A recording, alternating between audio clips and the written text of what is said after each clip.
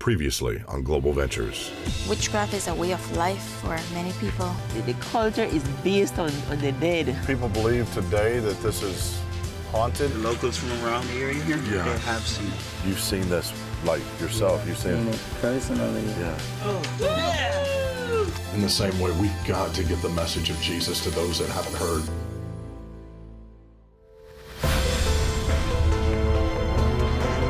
My team and I travel the world bringing a message of hope and life, fulfilling the greatest mission on earth. My name is John Smithwick, and this is Global Ventures. The team and I have been in Belize for just a few days, and though we've been able to uncover a little of their religious beliefs, there are still many secret practices that we haven't learned about. How can so many in a country that has been so well evangelized mix voodoo, witchcraft, Catholic, and even evangelical ideas into their own beliefs? Today, we're in Dangriga, hoping to not only learn more about it, but also to find people in need and bring them the freedom of the gospel. The pastor that lives here in Dangriga brought us to this voodoo temple, and he started telling us some stories about things that he's encountered with witchcraft and voodoo. We are at the location where uh, one of the Garifuna temples is presently located. This has been the main temple for all the years that I've been here. And mostly what they do in the temple is they have a ceremony called the Dugu. Duku. Yeah, D-U-G-U.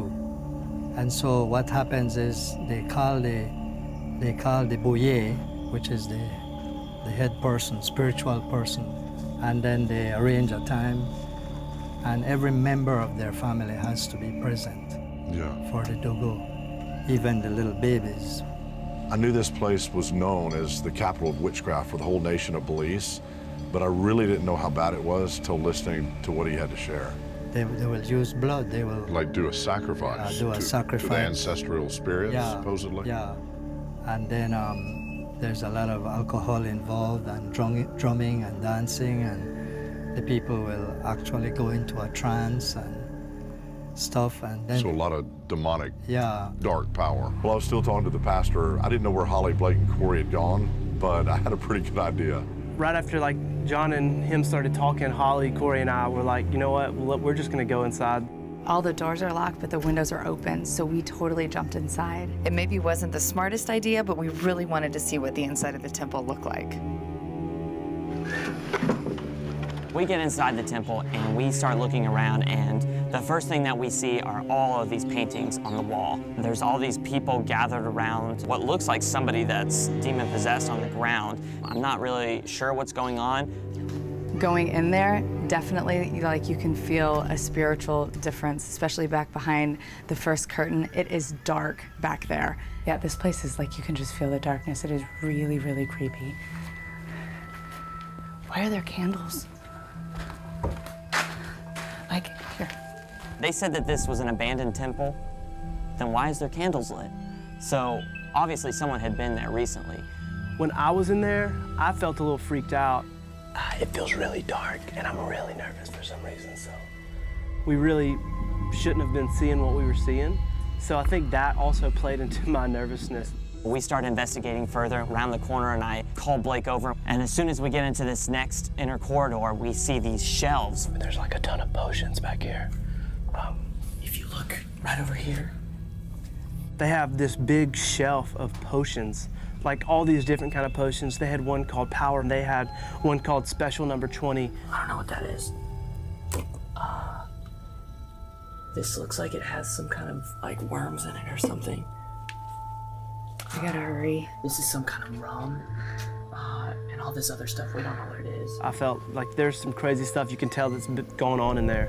They actually have a picture of Jesus hanging up in there as well, which is weird because I don't really think that Jesus is in on, you know, witchcraft and in on this kind of stuff. It was crazy to see what's back there, and obviously people still do practice. We know that it happens here, but nobody will take us to anybody who actually practices it. Yeah. You know what I mean? Like it's such a big thing. He was saying it was 50% of the population, but yet nobody will actually admit to it. They just tell us it's done. And, and in the different areas, they'll say the other areas for sure practice. it. Exactly, Like every- he was naming Georgetown, where we just We were. were just at Georgetown. They're like, no, it could be that some of the folks are totally afraid that if they, you know, say, yeah, they're practicing it right here, you can go, the They'll get a curses, curse. yeah, will be, you know, put on them or whatever. A big chunk of the population is supposed to be saved, and yet we come to places like this and you realize that, you know, it might not be as reached as we thought it was. In the midst of this, no telling how many out on the streets and in the Mhm. schools when our teams are ministering or in the mass crusades in the evenings. Mhm. No telling how many people really are, are set free from this Yeah. type of junk. Even though a lot of evangelism has come here, you can still tell that there's a lot of work to be done.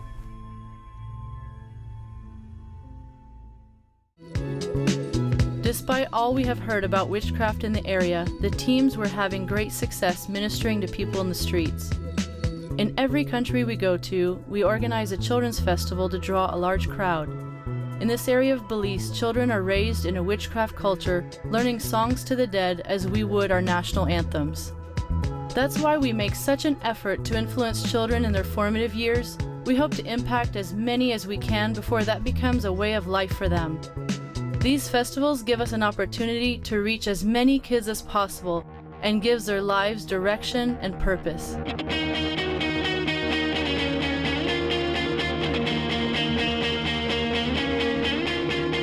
We're at the Kids Crusade right now. We're going to give you a little behind scenes of what we're doing.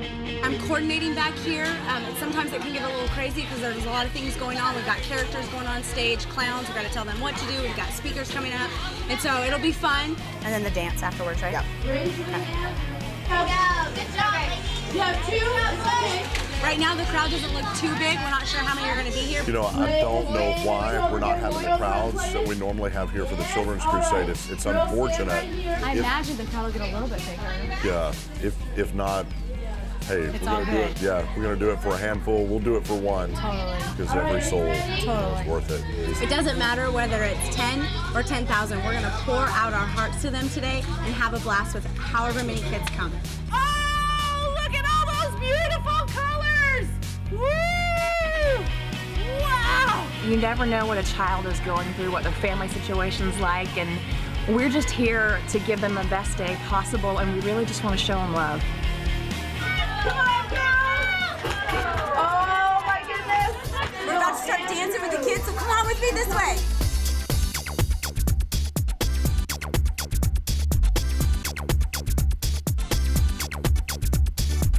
Hours of preparation go into these kids' festivals, and just tons and tons of effort because we want it to be the best that it can be.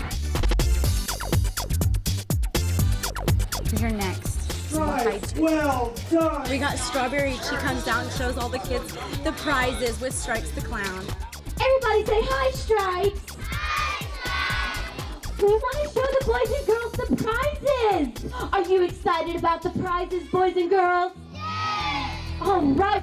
Everything that we do builds up to telling the story of Jesus. All the games that we play, the skits that we put on, everything combined is to get them to that moment where we can share the simple gospel and share it in a way that even the youngest child can understand.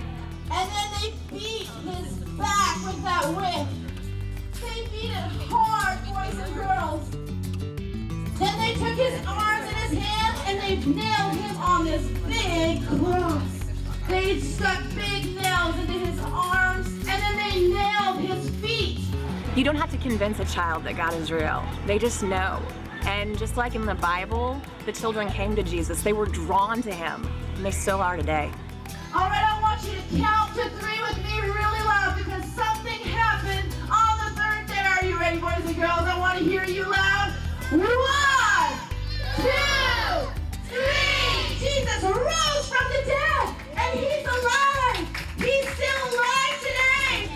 absolute favorite part, of course, is the salvation prayer. We build everything up so that the kids are engaged and ready to receive Christ.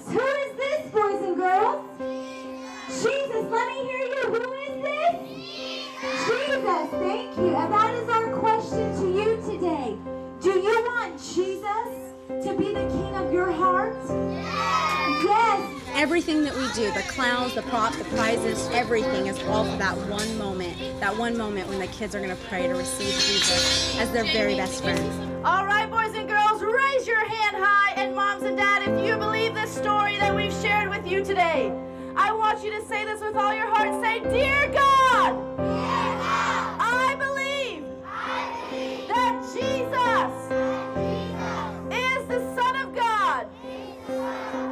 put your hand up and say, Jesus! Forgive me! Of all the bad things that I've done! Everyone say, Jesus! Be my Lord! In Jesus' name, Amen. Boys and girls, I'm so proud of you.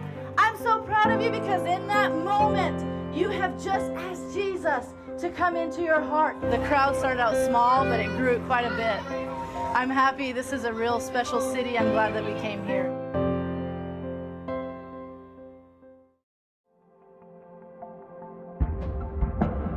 Today we really wanted to get out further than we've been before and just meet some people and pray for them if they needed anything. We're driving through these roads and everything's so beautiful, so pretty. All these mountains and trees and palm trees and orange grove. Belize has one of the most beautiful countrysides that I've ever seen personally. It was just really stirring in our hearts to try to get out to just small village areas. Many times those areas are just totally overlooked. We can hit major population hubs, but man, people are hurting everywhere. And so just coming down the roadside, we just saw some little communities and decided to pull off and start asking, were there people in need? Let's see if we can find out from one of these villagers. Hello? Hola? Hola? We met a woman who told us about a girl not too far from where we were who had been sick. We didn't know what was wrong with her, but we decided to try and find her family's house.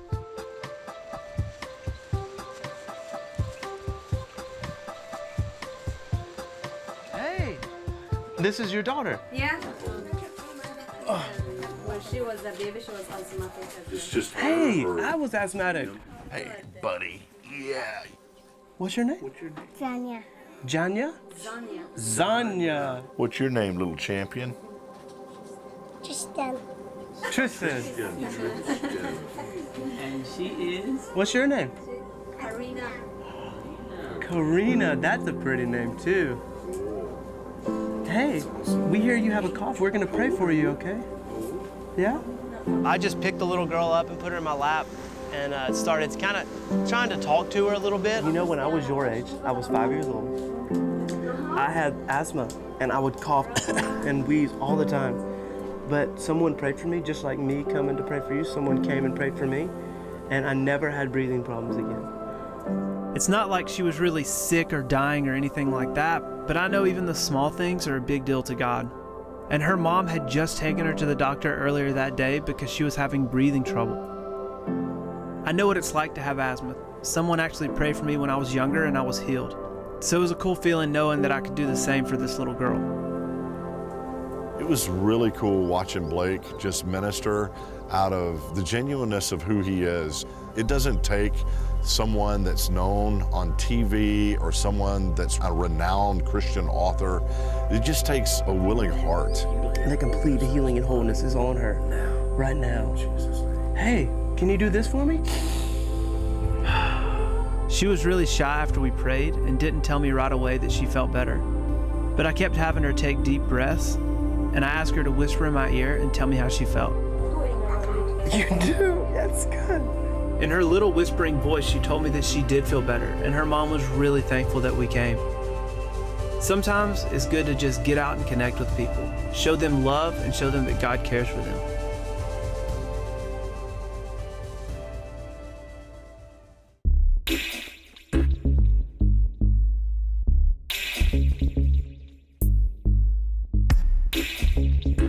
Been with Global Ventures for a couple years now, team leading and interning with them.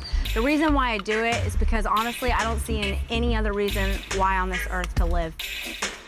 Bringing groups of people to different nations in the world and see their very first miracle, preach the gospel, and see how simple it is, it's the most rewarding thing in the world.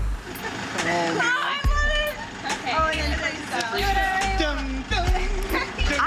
really make an effort to connect with my team and have fun because I feel like if I connect with them and we have a good time, then when we get into a crowd, then they're going to connect with the crowd and have a good time. And ultimately, their response to the message is going to be better. Okay, let's roll out to market. We're ready. Yep. All right.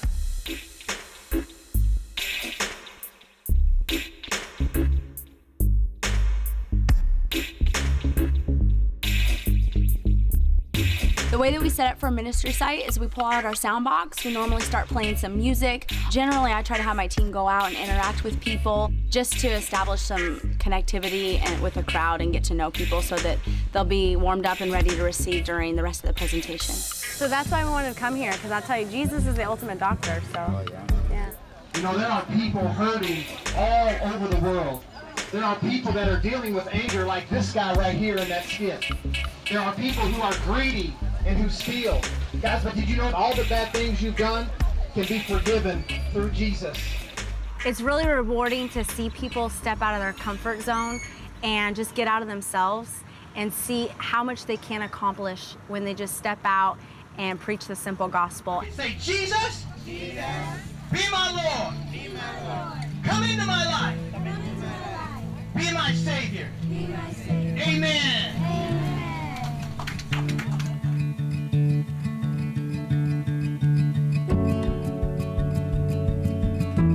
So we met this big guy on the way out. He was out there just hanging out with his friends, smoking. He said a couple cuss words. And so I talked to him and he's like, what are you guys doing here? And I, I told him what we were doing. I was like, have you heard about Jesus? And he was like, hmm. oh yeah, man, I believe in Jesus. And you could tell that he wasn't a church guy, but he, he was searching for something more. He wanted something real and authentic. And we're telling people the truth about Jesus. You know the truth about Jesus. Who did Jesus hang out with?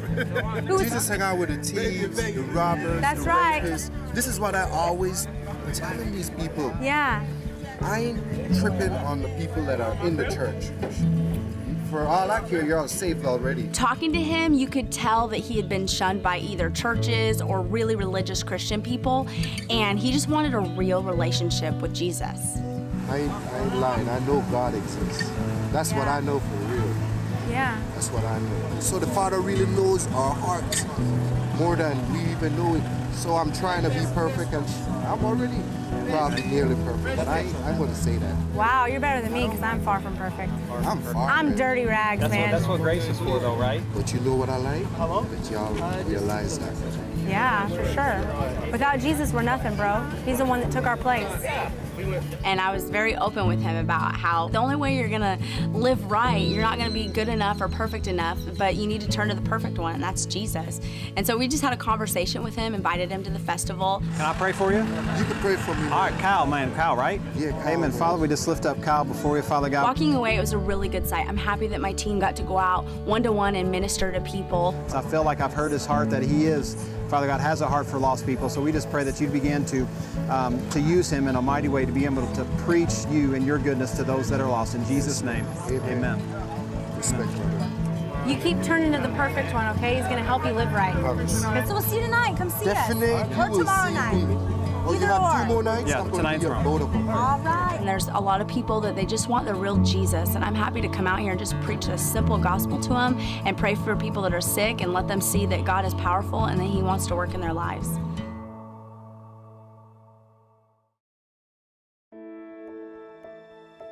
After praying for the young daughter, I thought that we were finished, but then an old lady walked through the back door, and I just felt like I should go over and start talking to her. No, you look about maybe 30. You look so young. I kind of explained the gospel to her a little bit. You know that when he died, he looked forward into this day, and he knew that we would be here together. Yes, It's good. And then I just prayed the prayer of salvation with her. In Jesus' name. In Jesus' name. Amen. Amen. That's good. Yeah. How do you feel? Feel good. You feel good. Feel good. You cried. Thank. Why are you crying? Yes, because um, I'm hearted. Jesus died for me. He did, and you know, and, and Sins. he died for every sin. I look up and she's got tears in her eyes, and at that moment, man, if I could have lost it, if because I'm sensitive guy, just because I was like, man, she she gets it. Jesus died for her. After we prayed prayer of salvation with her, I asked her, I said, hey, is there anything wrong with you? Do you need prayer for anything? And she said, yeah, and um, both of her legs hurt and her knees, she couldn't really squat down.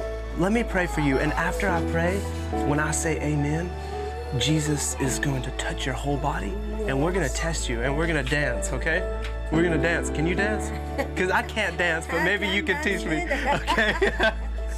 okay, In the name of Jesus, I thank you for dying for her, Father, and I thank you for touching her from the top of her head to the bottom of her feet. And Father, I thank you that the healing power is coming into her body right now in the name of Jesus. Amen. Amen. Amen. Amen. All right, let's do it. How does it feel?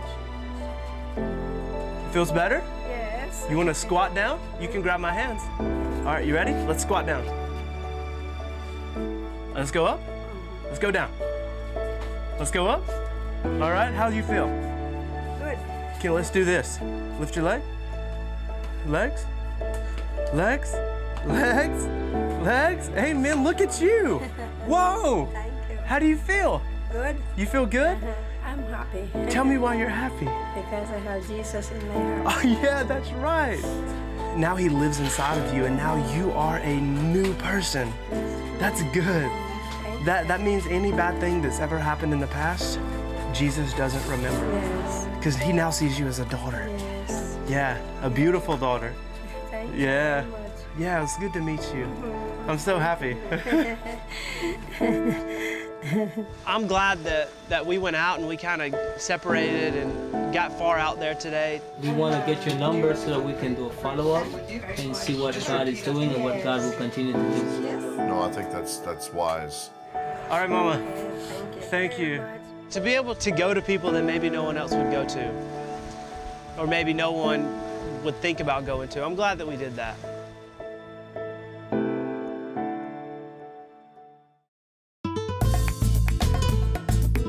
In two different cities this week, we held evening festivals. I believe it's so important in areas like this to show people that God's power is real. We always preach the simple gospel and offer salvation, but also have an emphasis on healing and miracles. They need to know they don't have to turn to the witch doctors. Jesus is always there, ready and willing to heal them. And in the name and authority and power of the Holy One Jesus, I declare healing and miracles all over this field now. I command blind eyes to open and see. I command deaf ears to open and hear. And crippled legs and arms and limbs receive life and work. And the life of God flood your entire being right now. Thank you, Lord, for mighty miracles. And what happened here tonight? Um, after you said the prayer, I believe it and my chest didn't hurt. Show us, breathe deep for us. Is there any pain at all? You know, I just took this out of place, you know, this joint was Yeah. out of place and I was, it was pain, you know. But today, um, as you were saying the words, I was repeating and I had faith in God, in His word, and then I was right there doing this and right after that, no pain again. No pain. No pain. And now you can move it pain free? Pain free. Here, hold this up high and squeeze it. Make God glad, the devil mad. Look at that. No pain. God is great. He is love and He's merciful. What was wrong with you, Raquel? ¿Qué es lo que tenías, Raquel? Tenía una hernia acá. I, I had a, a hernia. How long was it there, Raquel? ¿Cuánto Yo- tiempo tenía de tenerla? Nueve años. Pienso yo que como nueve años o más porque About nine, nine years. Can you find where the hernia was? ¿Puedes tocar ahora a ver si está la hernia ahí? no, ya no está. It's not there anymore. And you can't find it at all. Ya no la puedes encontrar. How big was it, Raquel? ¿Cómo qué tamaño más o menos era Raquel? Como así. It was About that big. And they said you needed Y surgery. le- te dijeron que necesitabas eh, operación. Sí. Yes. Not anymore, Ya no más operación. huh? so for two months there was pressure or pain. Yeah, it's like poor blood circulation, but they're light. They're light. Just march like this. Show how. I think, look, she's dancing. Thanks to Jesus. Hallelujah. I feel the good Lord get inside of me. You feel the good Lord get inside of you. Did the pain did the pain change? Did it go? Pain gone, the pain gone. Jesus took it away, didn't he, Mama? Hallelujah. Move your legs. Show us. Look at that. Look at Mama. Hallelujah. Look at that. I think she's happy. Due the surgery, and I was hardly can move because of my back pain. I couldn't bend my knees like this You couldn't bend your knees like this? No, without holding my cane. Look at that. Bend them. But tonight I did it. That's right. Jesus has really healed you tonight, hasn't he? She had to walk with this for many years, but now Jesus has made her completely well. And she just march a little bit and get in place. Look at that. Look at that.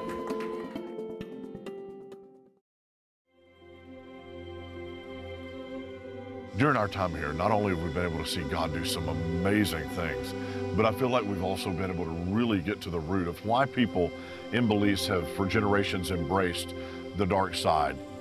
It's because it has been practiced for so long and passed down, and because it is a form of power, but we've seen it's not the greatest power. And even those that we encountered here, we saw that they not only practiced, but they feared the very power they were exposed to.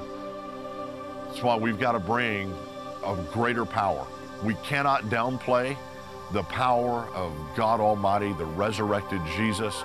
We need miracles, we need healings, we need signs, we need wonders, because all of that speaks to humanity of a supernatural God that is all powerful and the greater power, but who is all personal and cares about their lives, won't freak them out, but will free them. Maybe you've even been uh, exposed to dark power. Maybe you've been freaked out by witchcraft or some of the things that we've covered in this episode. Jesus is here right now, right where you are, to free you. Just bow with me, put your hand on your heart. I'm going to pray a prayer of healing and freedom. And right now, the power of Satan, because Jesus defeated him and all his dark realm 2,000 years ago in the death, burial, and resurrection. So he's going to free you right now from that because he is the greater power. Bow with me now. In the name of Jesus, I speak freedom and liberty to your life, to your spirit, soul, and body now. I command the powers of Satan and his darkness to be broken in your life and to leave you now in Jesus' name. And right now, I release the power and the goodness of heaven by the grace of Jesus into your life, into all your affairs. You, right now, are made brand new. Just say, Jesus, I embrace you as my Lord and Master. Make me brand new. I fully give my life to you right now. In your holy name, Jesus. Amen.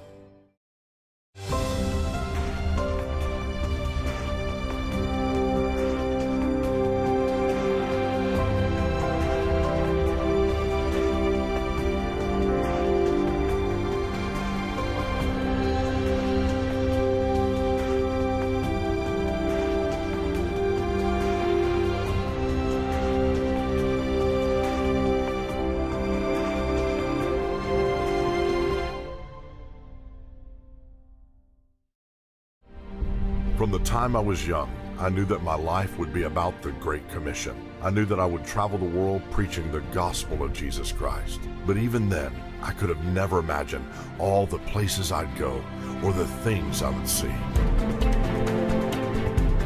The longer I do this, the more I know that it is a call for all who believe. We are all called to be a light in the darkness.